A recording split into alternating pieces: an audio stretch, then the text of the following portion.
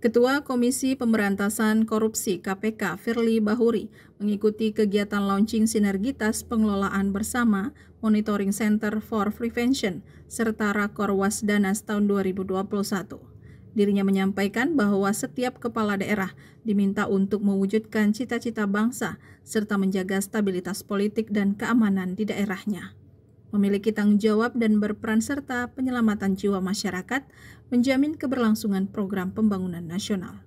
Acara pagi hari ini sesungguhnya adalah salah satu momentum kita sebagai anak bangsa untuk melepaskan negara kesatuan Indonesia dari praktik-praktik korupsi.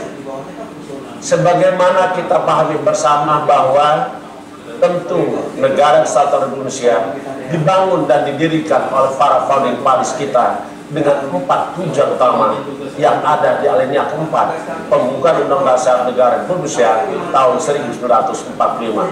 Di antaranya, pertama adalah melindungi segenap bangsa Indonesia dan seluruh tumpah darah Indonesia, memajukan kesejahteraan umum, mencerdaskan kehidupan bangsa, dan ikut aktif memelihara perdamaian dunia berdasarkan kemerdekaan, perdamaian abadi, dan keadilan sosial.